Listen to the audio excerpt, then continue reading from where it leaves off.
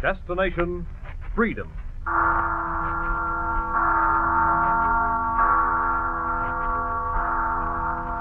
Listen, it's the Freedom Bell.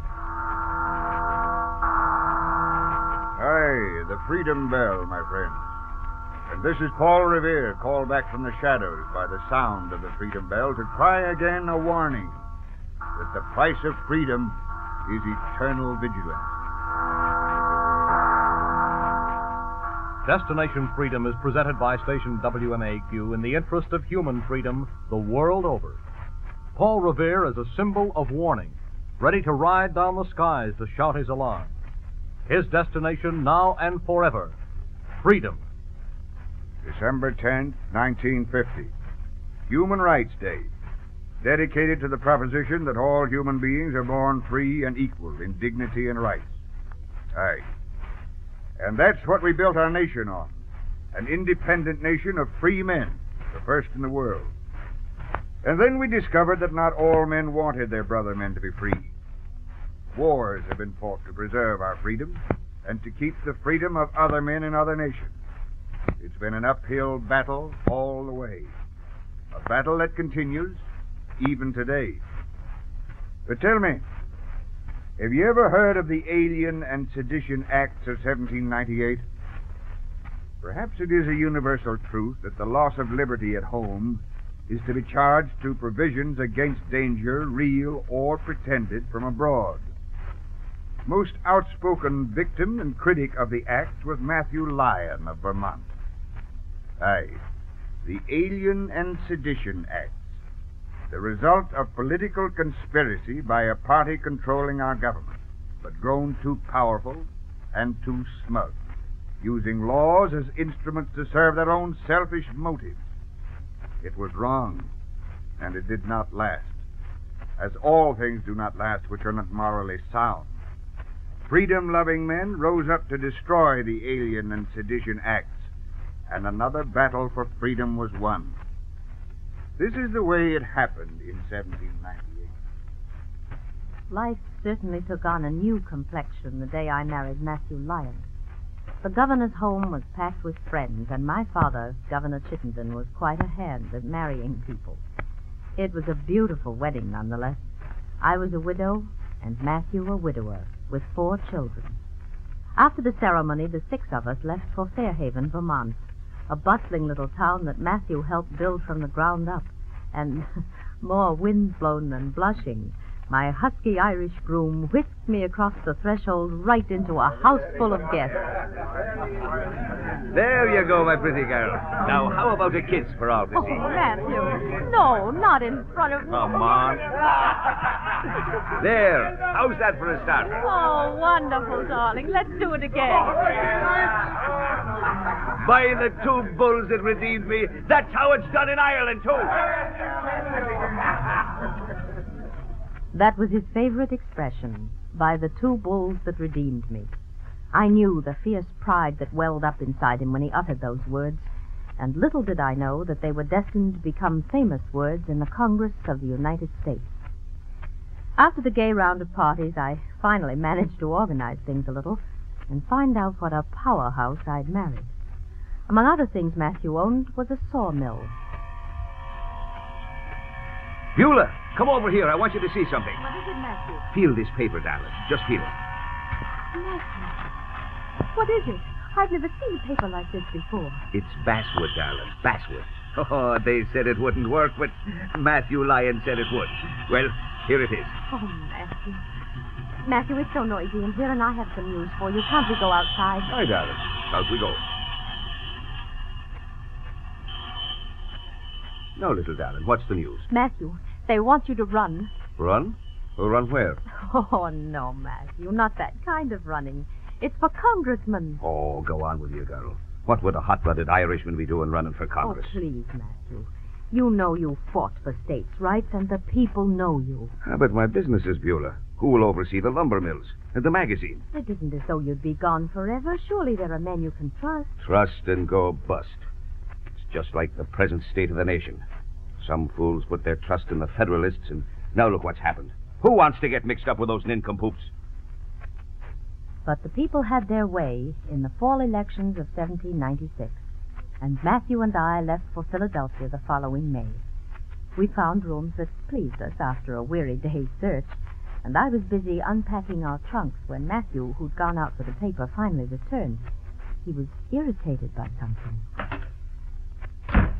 By the two bulls that redeemed me. Matthew, Matthew, what's the matter? You're, you're all red in the face. Sit down now. Aye, Mrs. Lyon.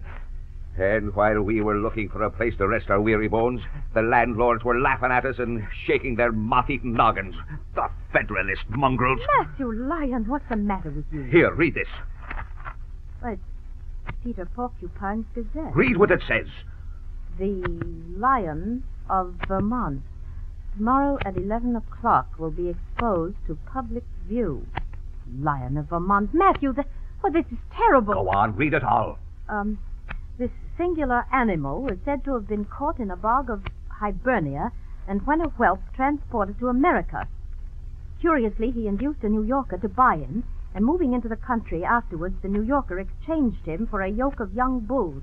He was petted in the neighborhood of Governor Chittenden and soon became so domesticated that a daughter of His Excellency would pet him and play with him as a monkey. He differs considerably from the African lion, is much more clamorous and less magnanimous. Well, there's more. I've read enough, thank you. Matthew, if that's the best literature the Federalist Party can put on the newsstands, it's about time somebody did a little house cleaning. Who is this Peter Porcupine, anyway? Now, darling, don't get so upset. Peter Porcupine is an old Tory turned Federalist.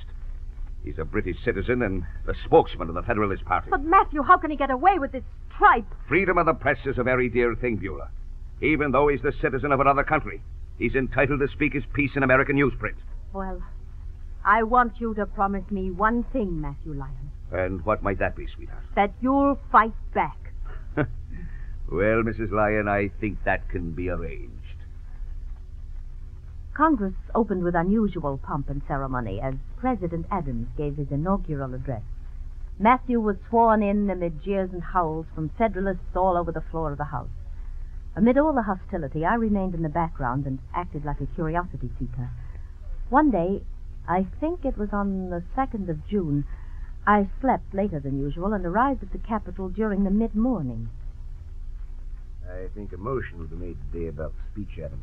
Yes, indeed, Senator. A brilliant speech it was, too, sir. It is customary to retire to the President's chamber to congratulate him. Which he justly deserves, sir. It'll be mere routine, of course. Well, maybe. I say, what do you mean by that? There's a newcomer in the House who seems to object to some of the accepted procedures. You mean the Lion of Vermont? He'll make no trouble, I assure you of that. Oh, well, I wish I were sure.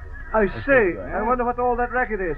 Wait, I'm going to take a look. Uh, the Porcupine I'll take care of that rascal lion. On what a roasting he got a couple of days ago. Did you read it? Oh, indeed, I did. Bill Cobbett is satire's great master.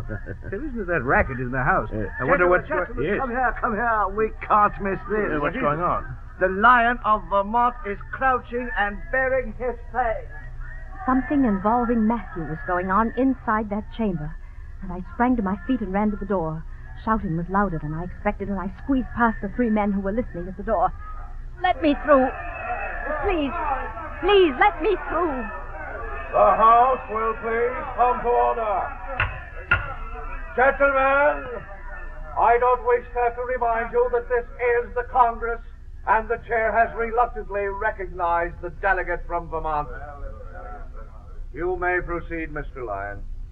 Once again, Mr. Speaker, I am deeply grateful for your good offices. I should like to repeat to this assembly what I said yesterday about the discussion of answering President Adams' speech. Yesterday, gentlemen, I said that such members as do not choose to attend upon the President to present their answers to his speech should be excused. Ah, Today, I make a motion that those who do not wish to be present at the President's chambers be excused. I think this motion is reasonable.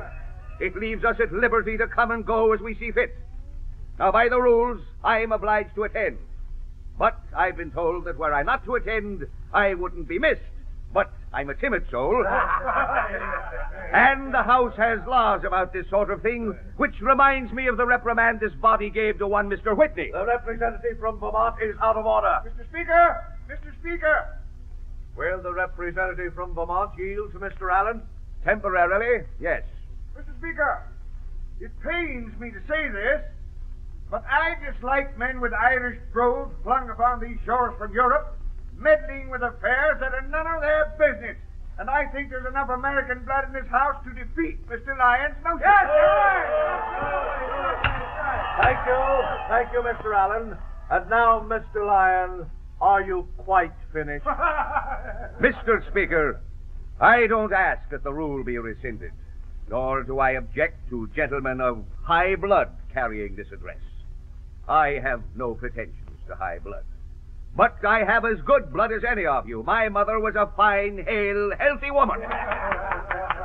I'm getting the lion's share of the applause. Thank you, Mrs. Lyon. Before yesterday, Mr. Speaker, I had never heard of gentlemen boasting of their blood in this house.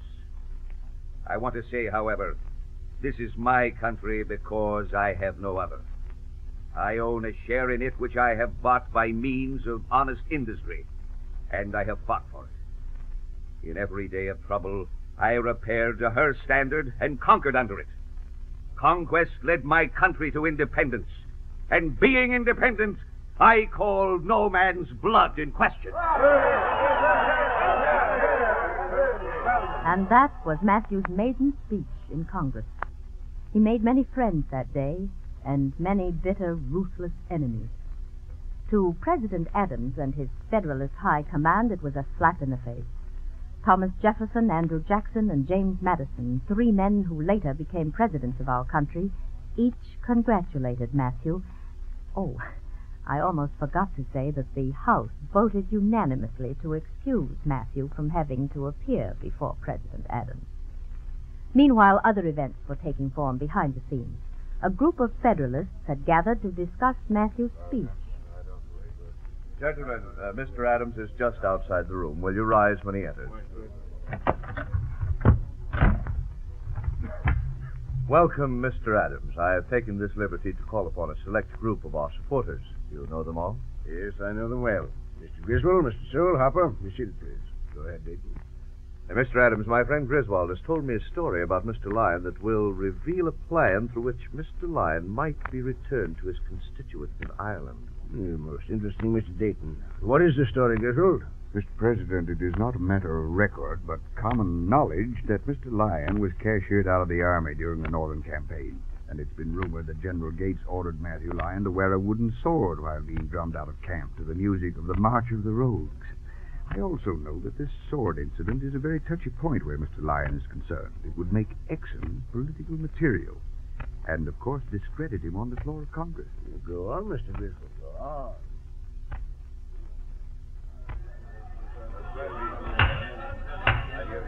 All right. All right. The chair recognizes the Honorable Mr. Griswold. Speaker, gentlemen of the Congress, I would like to apprise you of the sentiments of a foreigner in our midst. You all know this person. He was bailed out of servitude by a couple of young bulls. it seems that the subject of my home state came under the scrutiny of this Irishman, who said that he could, with the aid of the press, go single handedly into Connecticut and, through an expose, oust the entire Federalist Party within a few days. What do you think of that? I would like to ask the man who makes this pretense whether he will go armed with a wooden sword girding his loins, perhaps. the representative from Vermont seems to be preoccupied. I should approach him and whisper loudly in his better ear. I repeat, sir, would you be wearing a wooden sword? What, what happened? What uh, happened? Lion sticking Griswold's face. there goes Bill Cobbett dashing out through the door. Peter Porcupine, methinks, is about to splatter ink in the street. Philadelphia was in an uproar, and Peter Porcupine's Gazette hit the stands merciless in his attack on Matthew. The story of the wooden sword had been a lie from the first, but the press and the public ate it up. Almost two weeks to the day after the first scene on the floor of the house, another far more serious act was provoked. Again, Mr. Griswold and my husband were involved. I say, Gordon, nothing exciting lately. How about joining me for a wee nip? Uh, yes, I think I could go for something about now. I'd as soon take the afternoon off, but they want a quorum on a new resolution. Oh? There may be some opposition, you know. Say, oh, look, Gordon. Here Oh. comes Griswold. By George, he's carrying a big yellow cane under his arm. Look at the size of that, will you? I wonder where he's going with that thing. He's heading over to Lyon. Oh, let's stay here a moment. Griswold's grabbing that cane like a club. Oh, Lyon hasn't seen him yet. There's going to be a fight. Oh, Griswold's raising his cane.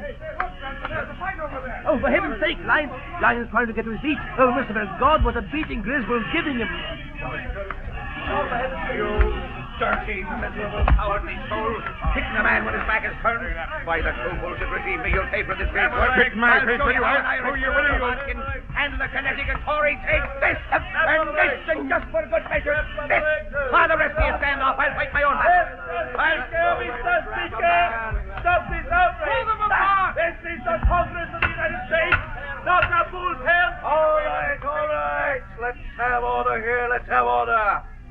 Mr. Lyon, cease your attack upon the person of Mr. Griswold. Mr. Lyon! Mr. Speaker! The chair recognizes the Honorable Mr. Gordon. I move that Mr. Lyon, a member of this House, for violent attack and gross indecency committed on the person of Roger Griswold, be here herewith expelled. I second that motion, Mr. Speaker. The box of Pandora never let loose demons like those which plagued us in the days to follow. It was as though Matthew had loosed all the abuse inherent in mankind, and it descended upon him like the trials and tribulations of Job. But more than that, it gave birth to a thought that blossomed into the smelliest legislation ever to disgrace the statutes. For shortly afterward, certain bills were introduced and debated, and over the protests of freedom loving men, including many Federalists, the bills were passed. Their title, the Alien and Sedition Act. Under the Sedition Act, five years' imprisonment and $5,000 fine awaited any person who opposed governmental measures, resisted the law, or issued any so called false, scandalous, or malicious writings against the President or the government. Then Congress adjourned, and the legislators went home to make their excuses and get on the ballot again. Ethan Allen and some friends came to see us shortly after we returned to Vermont. Ethan, I don't like it. That alien act is the foxiest piece of skullduggery ever put over on the American people. Well, none of us like it, Matthew. How can you fight it without breaking the law? It can't be done. Well, anyway, Matthew, you'll be running again. Not if I can help it, Mr. Oh, Allen. oh, yes, that's one thing I forgot to mention, Ethan. Uh, Beulah doesn't want any part of Philadelphia. well, I can see why, Mrs. Lyon, but we need Matthew down there. I don't care, Mr. Allen. I think he could accomplish just as much for the country by just staying in Vermont. I'm sick of the whole mess. Did you tell Mr. Allen about the newspaper, Matthew? Oh, something new, Matthew? well, uh, Ethan, I've been thinking of starting up a small paper. So people can read the truth for a change. Well, Matthew, why not? It's a splendid idea. Oh, they'll nab you for sedition. I'm not worried about that, Ethan. well, then what's to stop you, Matthew? Time, Ethan, time. One just doesn't set up a paper overnight, you know. It Takes money, men, circulation. Well, while you two are so busily engaged in blarney, I'll skip out and pour more cider for the guests. Will you have some, Mr. Allen? I certainly will, ma'am. Matthew? Huh? Oh, oh yes, yes, yes, Beulah, whenever you get around to it. Uh, now, let's see. We, we have the newsprint. Don't need too much equipment, and if we got going now. Scourge of Aristocracy and Repository of Important Political Truth. Hmm. 36 pages and only $3 a year. Guess I'll take one home. And it is the writer's belief that the nation would fare better without such a president as Adams has shown himself to be. A man with an unbounded thirst for ridiculous pomp, foolish adulation, and selfish avarice. Wait until Nate Chipman sees this. I thought it was in the best interest of the party, Mr. President. Where did you get hold of this magazine, Mr. Griswold? Through Senator Chipman, Your Excellency. It is a direct violation of the Sedition Act. Of course it is. This is a fine piece of work, Griswold. On your way out, summon the secretary and tell him to bring in a warrant. I'll have Lyon arrested myself. Matthew's magazine appeared on the 1st of October, 1798. The circulation was excellent, and orders poured in for more and more copies. Three nights after the first issue appeared, Matthew arrived home later than usual. He was in high spirits. By the two bulls it received. That you, Matthew? And are you expecting another man this time of the evening, Mrs. Lyon? oh, no, of course not, darling. Come over and tell me what went on at the word factory today. Orders, orders, and more Oh, orders. the people are hungry for the truth, Matthew. And it's the truth that they'll be getting, too, my darling. The whole of the Federalist hierarchy will feel the bite of Vermont's lion come the next issue. Aye. They'll be counting lions jumping their political fences while they're tossing in their beds at night. Oh, goodness. See who's at the door, Matthew. No, I hope it isn't more orders, that's all. Yes? Had you, Lyon? Oh, Mr. Fitch. I have a warrant for your arrest. Go on with you, Fitch. Now, you'll not be pulling my leg at this time of night. is it, Matthew? It's Fitch, the marshal. Well, what does he want? Uh, I've an invitation to spend the night at the lockup with the marshal. At the lockup. You mean go to jail? Come on, Lyon, let's go. Hold on a minute, Marshal. Now, a joke's a joke. But if you're serious about this thing, I'll show up in the morning. After all, I'm not planning to go anywhere for a while except to the polls. And when we get through with that pleasantry, this warrant will be a forgery. Lyon, I beg your pardon, Marshal Fitch. On my word of honor as a gentleman, I'll be there at any hour you say tomorrow. Well, Just say when. all right. There'll be a recess around noon. Fine. I'll be there. Always did like recesses. Good night, Marshal. Good riddance. All the impudent, conniving rascals. Matthew, what do you think they'll do? Beulah, we're not worrying our heads about it tonight. Come on, let's drink some tea and retire to the comforts of a warm blanket. The bed I sleep on tomorrow night may be a mite cool. The jury and the judge were Federalists, to a man. The trial was a disgrace to our legal system. Matthew was convicted on three counts, all violations of the Sedition Act. He was sentenced to four months' imprisonment and $1,000 plus costs and hustled off to a dirty little jail in Vergennes, 40 miles away from Fairhaven. It all happened so fast there was no time to get competent legal advice, but once the word got around, things began to happen. And the Green Mountain Boys, with Ethan Allen riding at their head, descended upon Vergennes.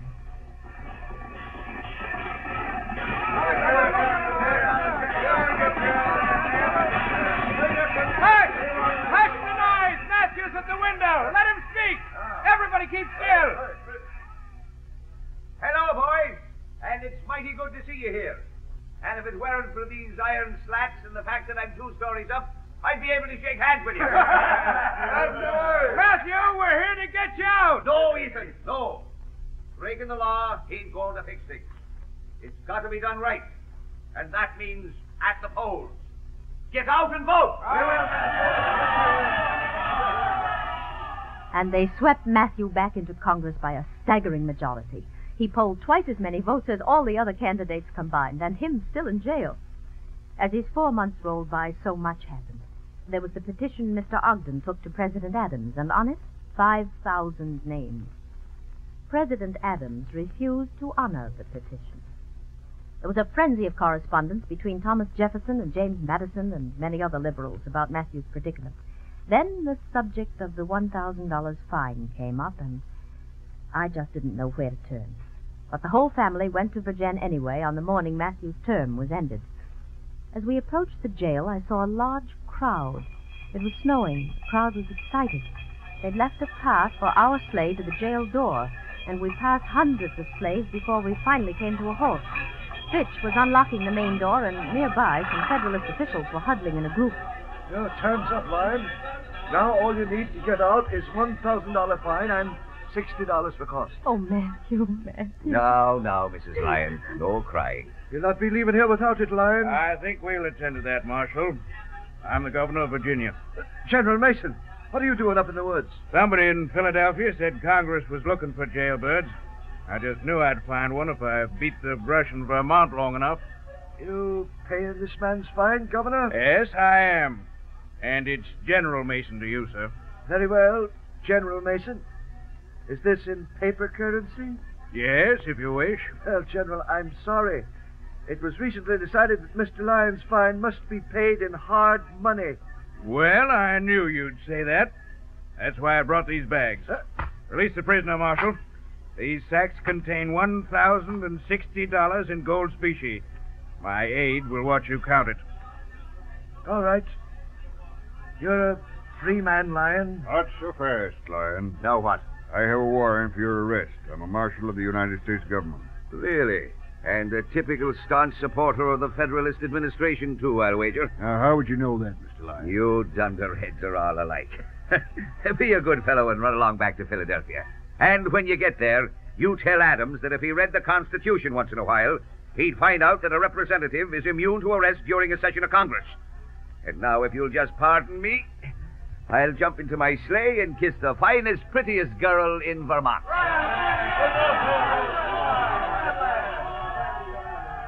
After we thanked General Mason, Matthew drove toward Philadelphia at the head of the longest parade the country had ever seen. Sleighs stretched out behind us, 12 miles in length. Yes, I cried like a baby.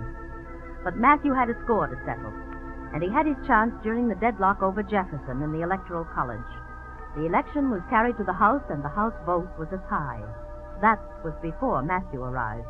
He cast his vote, and the Federalist Party crumbled to the dust and mingled with the dirt it was. It never revived.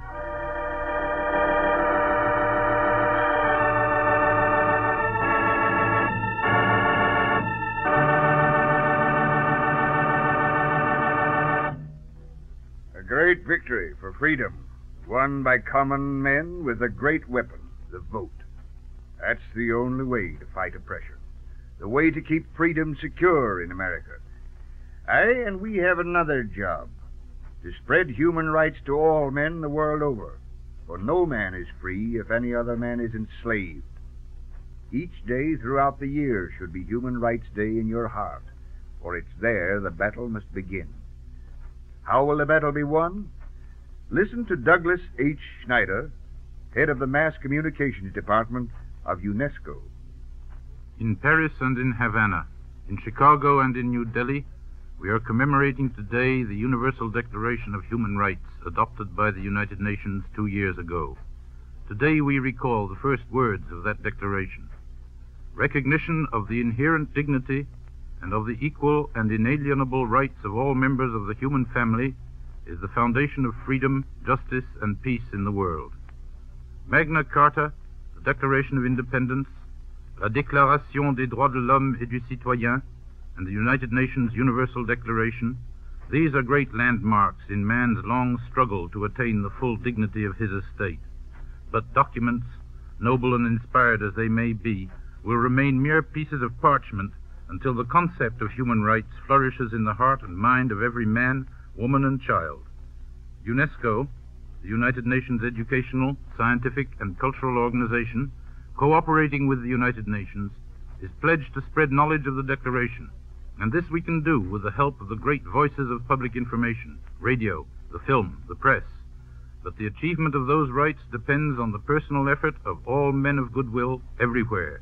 It's in our own towns, our own offices, our own homes that we must transform into daily living truth these words of the Declaration. All human beings are born free and equal in dignity and rights. They are endowed with reason and conscience and should act towards one another in a spirit of brotherhood.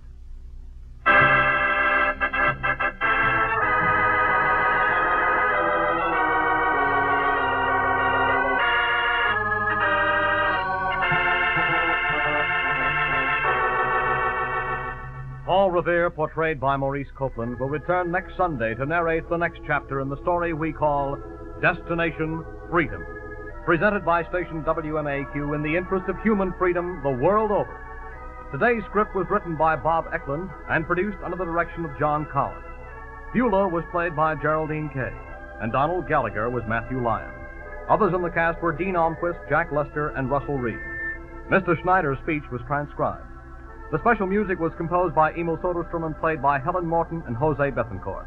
Our engineer was George Wilson, sound effects by Cliff Mueller. Now, this is Charles Mountain reminding you the sound of the Freedom Bell is your invitation to follow Paul Revere along the road to Destination Freedom. This is NBC, the national broadcasting company.